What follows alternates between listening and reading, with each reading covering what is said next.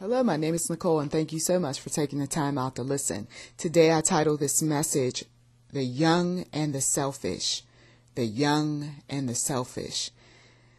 Sometimes people realize once they get to be older in life that they wasted a lot of time.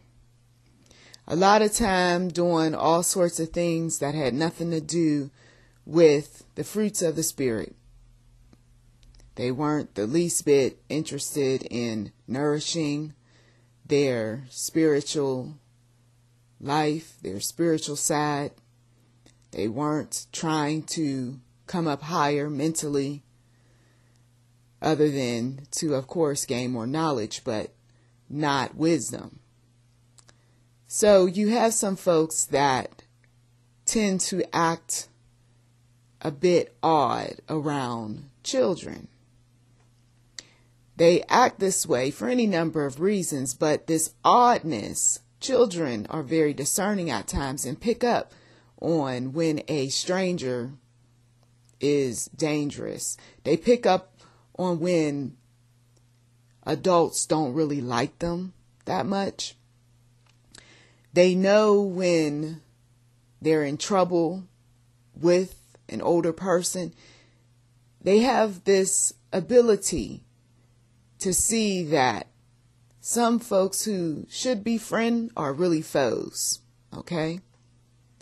Now, how does this look over time as a child becomes more and more knowledgeable about people, about experiences, what suffering looks like? Well, depending on the child's mindset, they might fall by the wayside and end up trying to medicate a lot of their issues that adults had put upon them during their youth with drugs and alcohol and sex and rock and roll and whatever else they can find just to escape the pain.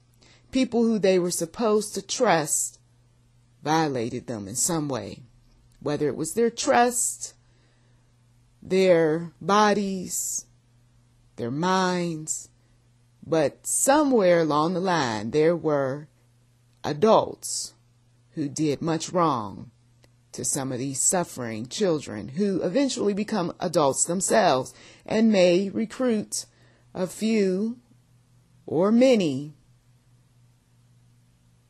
to become problems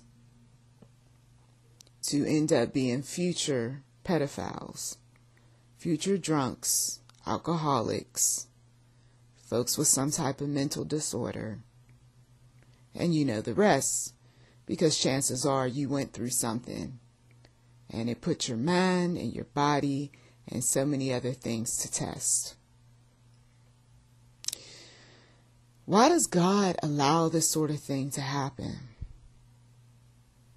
Some will say, well, it's because He wants to give us a taste of what it's like when things are so good, to strengthen us, to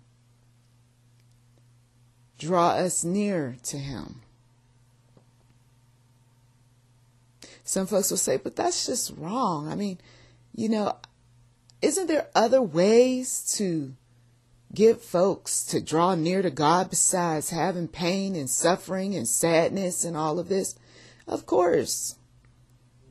But some of us are some tough nuts to crack, right? Some of us are hard. We're cold. We were born out of families that weren't very nice. Sometimes the only way people will come to the Lord is through pain.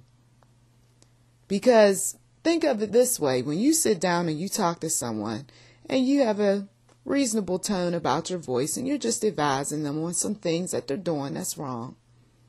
Do they usually just jump up and do what you say? do they typically start implementing all of what you've told them? Most of the time, no. Some folks got to learn things the hard way, like the child who walks over to the hot stove and says, But I just want to touch it, but it's hot. They don't know what hot is until they touch it, right? No, it's not a good thing to go through much, especially as a child who can't defend yourself in no way, shape, or form. You just got to take it. But God, even in all of our suffering, even in all of the difficulty, He figures out some kind of way that's customized just for us to get us to go head on and follow His will. It doesn't happen for everyone, of course, but for those who He has called, for those who He have who He has chosen, all of the pain and all of the suffering, well, it doesn't seem so bad as you get closer and closer to the Lord and finding out why things went the way they went. Which all of this brings me to the message the young and the selfish. There's a lot of folks that are jealous of young people. They're older and they have a jealousy, a hatred even toward young people because young people remind them of so much, so much they've have gone through. Young people remind them of things that they should be doing, but they're not. Young people are at times not what they feel are a good representation of who they are. But why? Why even be concerned about that? Because, well, a young person is his or her own person. But for some adults, that's not the case. You're a representation of me. You are a mini me. You are going to do what I want you to do when I tell you to do it. So the child really doesn't have an identity that's exclusively his or her own. Now stay with me. I mean, it all interconnects. These messages, it seems like you're going down one path, but trust me, we're still on the same path when it comes to this young and the selfish. Spiritual messages don't always come out in black and white. We got to touch on the gray areas before it all makes sense. The young person is trying to find his or her way in life. The young person wants to put the past behind, wants to walk in the present, and anticipates the future. But that selfish individual, a person that may have 10, 15, 20, 30 some years, maybe even 40 years over that child. He or she, if they're not walking with the Lord, you know they're a child of light. And you know they have some hidden motives. They've got some wickedness going on with them. And they're just not right. Okay? They're just not right. And so the young person in the presence of a selfish, bitter, jealous, covetous, older person, somebody who they're supposed to respect. Oh, it can be like oil and water. Why are you over here? What do you want from me? Why are you asking me those questions? Go over there. Do this. Do that. Stop saying this to me. Who are you? I don't even know you anymore. Just go away. You remind me of. Oh, it's even worse if that child looks like that parent that they're no longer with. Or that parent who they're with, but they just don't like them. You remind me of your mother. Stop. Just just go somewhere. Every time you make your face like that, oh, you put me in the mind of your father. Their emotions, their feelings a child's way, a child's demeanor, their behaviors, and so forth can be quite irritating to those individuals who don't like children much, who don't particularly care for that other parent, and they see that face in the eyes of the child. God will put things upon our hearts to pray about. When we see that there's something troubling in the atmosphere concerning an adult and a child, those things are not there for our entertainment. They're there for us to pray about. They're there to also strengthen that young person, even though we may feel like they're too young to go through so much.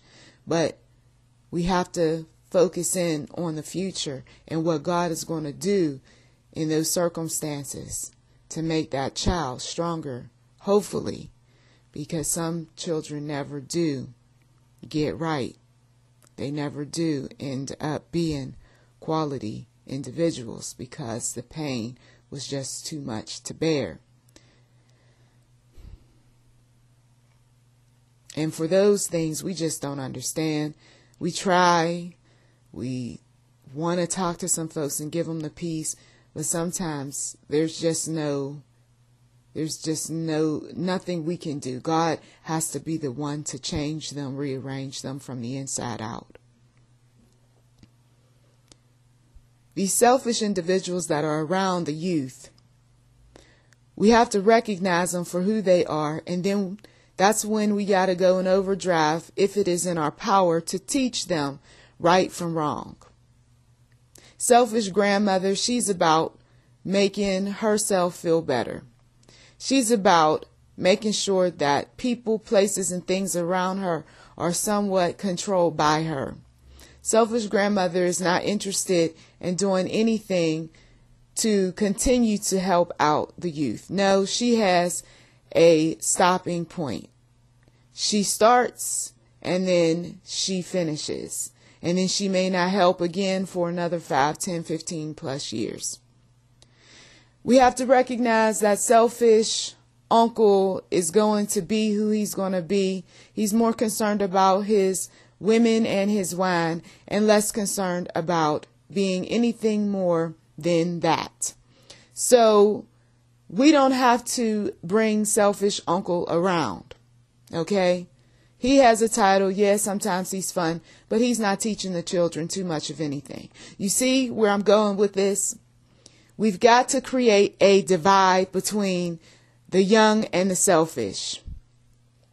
Because as long as we're bridging the gap, so to speak, between the young and the wicked and the addicted and the touched and something else that's going on with them and we just can't figure it out. As long as we are creating those type of bonds with individuals, the children will think that is acceptable. And then when they get older, they're going to get around some folks and say, well, it's okay. I mean, cause I grew up this way. My mom, she was into some stuff. My, you know, uncles and aunts and so forth, they were drunks. And, you know, this is all familiar to me. And I'm used to, you know, a controlling relative or two because, well, I grew up in those atmospheres and, you know, so why do we even ask the question, why do they pick the partners that they pick? How is it that they're able to get along with, you know, these uh, controlling managers and so forth?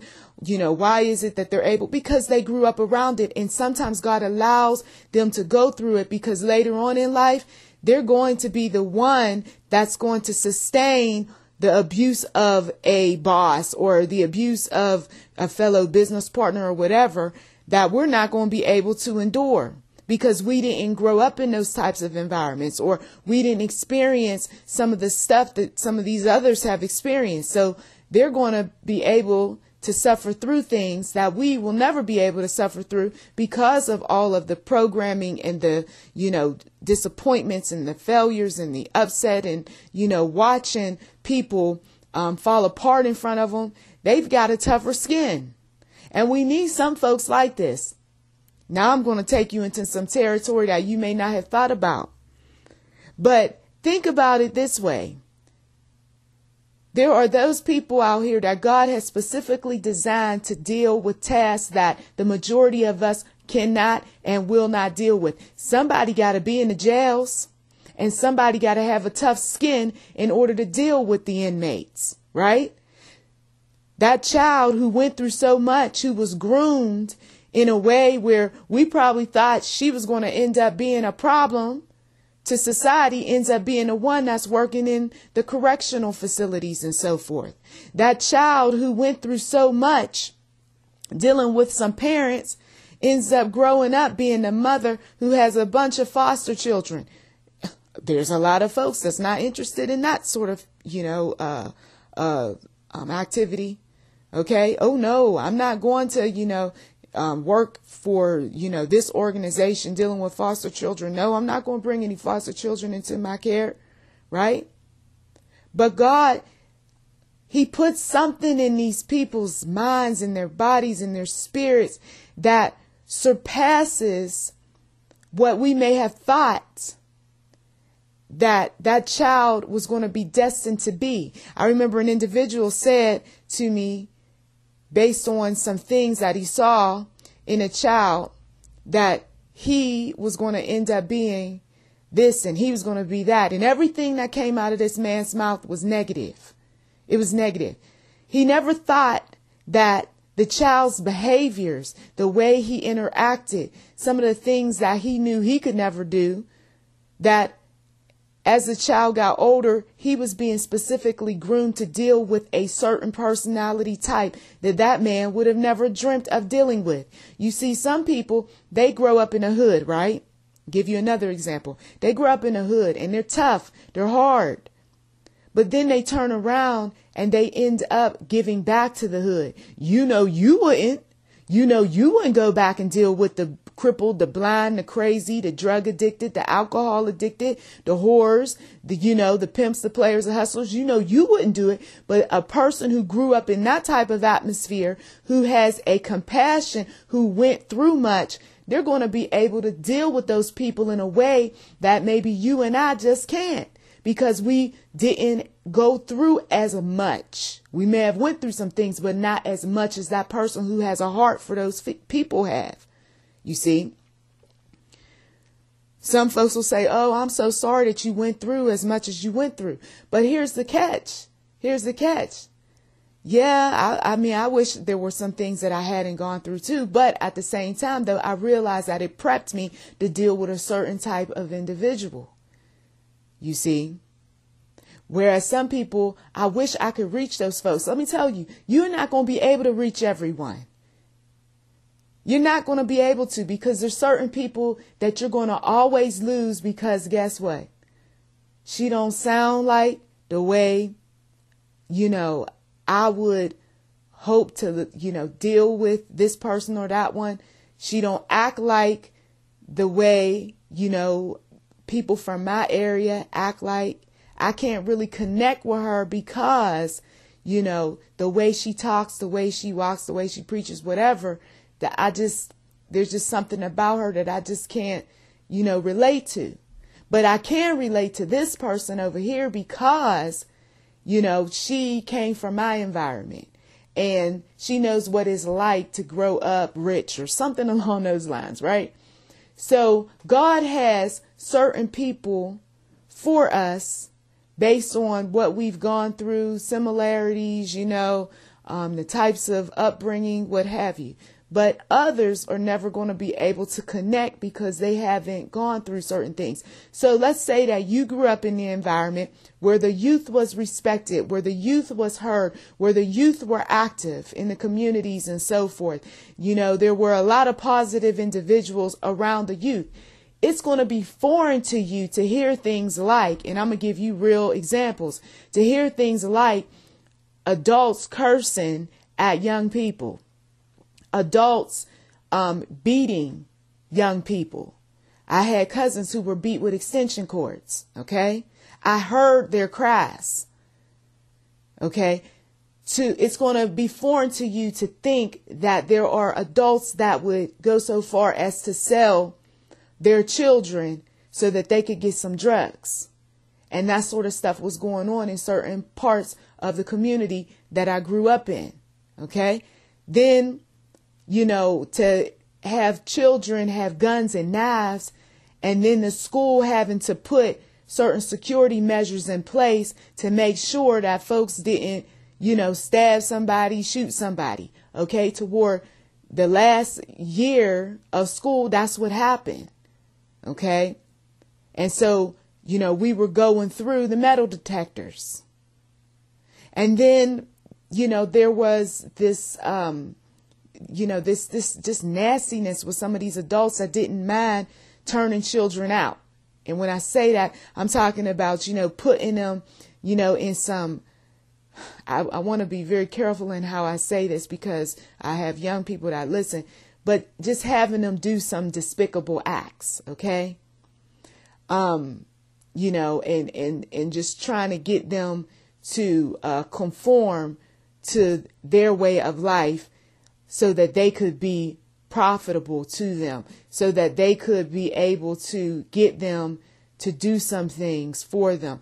Um, and some just so that they'll stay close to them, you know, for all the wrong reasons.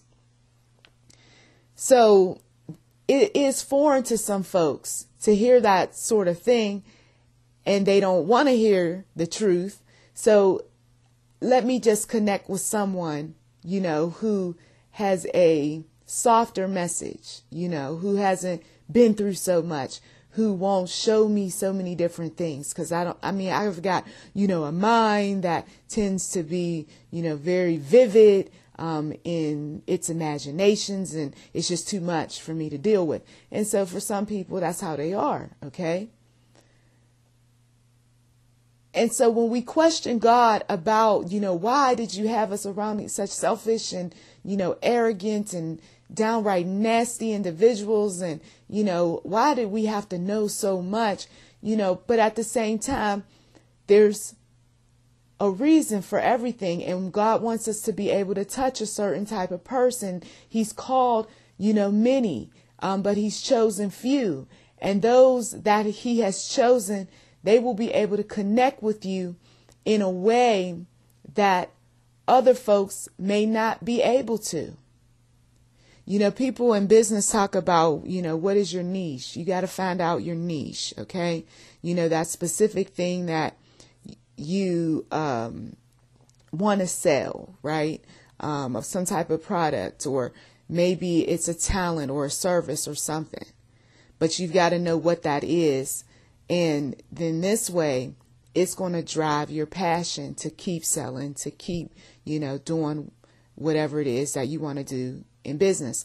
Well, in God's kingdom business, you've got to know what your spiritual niche is. And if your calling is to talk to the young as well as the selfish, then you would know that there are some things that you would have to communicate based on what you've gone through in your youth, in addition to what you may be guilty of doing even now when it comes to selfish behavior, selfish motive, selfish gain, and try to um, work through all of those things. And then, of course, teach others not to do the same. Okay. The young and selfish are among us, and we see them at family events, of course. We see them at the workplaces. We see them in the churches. We see them when we are shopping, when we are, um, you know, just going about our day. The young wants some guidance. Even when they don't say that that's what they want, they want some guidance because they know they don't know everything. And sometimes it gets a little bit scary in this world. Sometimes you don't know what decision to make. And, and as a young person, you trust an adult, you know, because you figure they have gone through much. Um, they know a bit about life. But when that adult is the wrong adult, an adult that is mentally troubled, an adult that has a lot going on with him or her, they're going to steer you in a direction where you'll say, This doesn't sound right. This doesn't look right. Like, case in point, um, an adult who spoke to one of my sons and was saying some things that didn't make sense to him. And he came to me and he told me some of these things. And I said, He's not even supposed to talk to you about that sort of stuff. You see? Not in the way that he did it. Now, if he was going to teach you, that's one thing, but he came across as trying to be a friend, a buddy. That's not what my son needed. He needed to be told that right now is not the time, you know, to be, let's say, I'll just pull out a topic, girls, you know, focused on girls.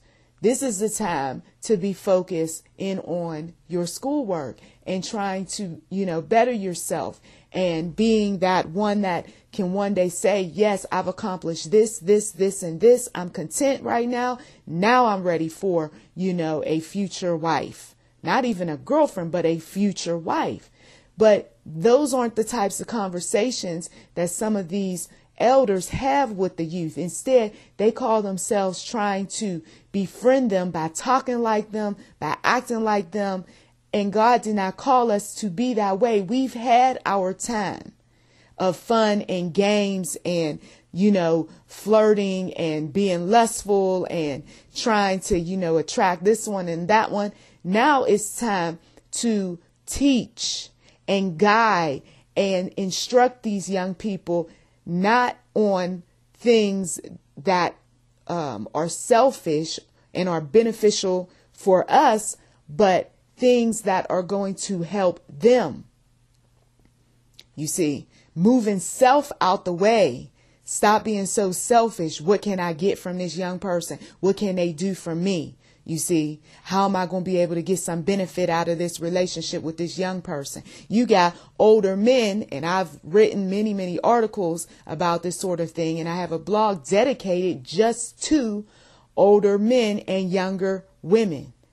Okay. And it's dedicated to issues that the age gap relationships face. Okay.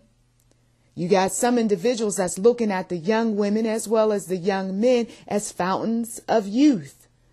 And then you've got the young people looking up at the older uh, people as um, banks. okay, to just be bold. You got some that are in those types of relationships. You give me what I want, and I give you what you know I um you know, and I and I give you, you know, what you want in return. And then, you know, we got some type of mutual arrangement going on here. And the Lord spoke to me and he said that there is a way to do things that's righteous and true, even in a relationship like that when it is pure. But when it is not right, here's what it looks like. You know, so I show the good as well as the bad. I'm on tipsdatingoldermen.blogspot.com. And no, it is not spiritual. Sometimes you got to talk to people in a way where it meets them right where they are. I did have a uh, Christian woman speak to me and wanted to know more about it. And so that's why I'm sharing it. Um, they've got to see all sides to, you know, what is going on uh, between the young and the selfish. That people who have selfish motives or don't mind uh, putting moral you know, character, um, you know, principles and so forth on the shelf and turning around and using and abusing young people. And young people who are naive, who are gullible, are susceptible to being mistreated by adults. Young people who don't stand up for themselves, young people who don't fight when they're being attacked, they are, you know, going to find themselves um, putting up with a lot. Young people who may not be strong enough to, you know, physically fight, but yet they can go and talk to someone about what's going on with them. You see, if they truly want the help. And then some are so fearful. And then, of course, we pray for those individuals who are just so fearful to open their mouths, to run away, to fight, to do anything, but just take it.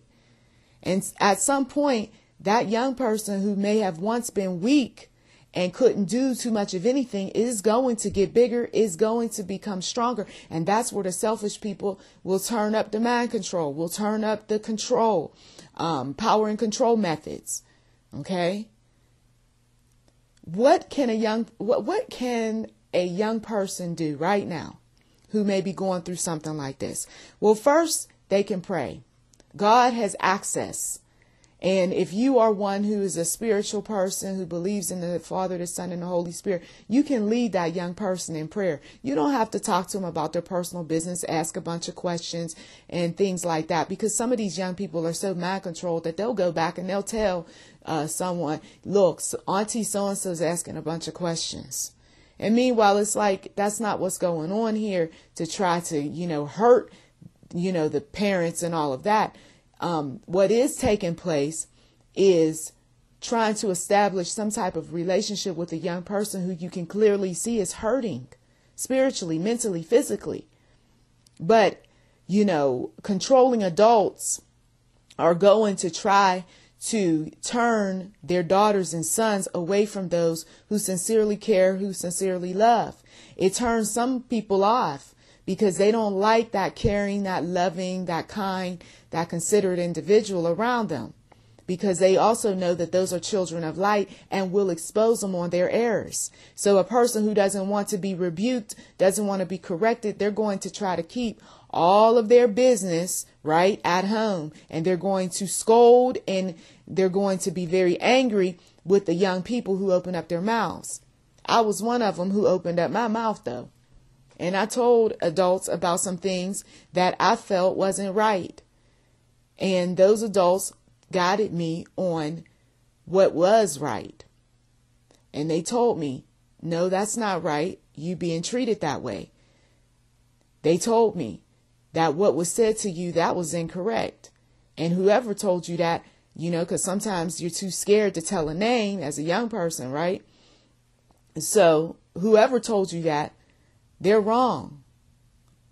You see, so when you open up your mouth, and even as an adult, when you open up your mouth and you ask questions of those who know a bit more than you, then you can be on the fast track to getting the necessary information that you need to do what is right and not continue to perpetuate, you know, dark things, ugly things, evil things, things that would, you know, make people's stomach churn. But some people have faulty reasoning, faulty logic. They have, you know, faulty um, ideas. Um, they have faulty instruction. They got a lot of stuff going on that's not right. And so they lead these young people into this, it's okay, it's all right type of mentality. And then when the young person ends up trying the wrong person, you know, with some of their messed up programming, that wrong person might hurt them bad. I don't know where you got this sort of behavior, but uh uh-uh, uh you can't bring that over here. You know.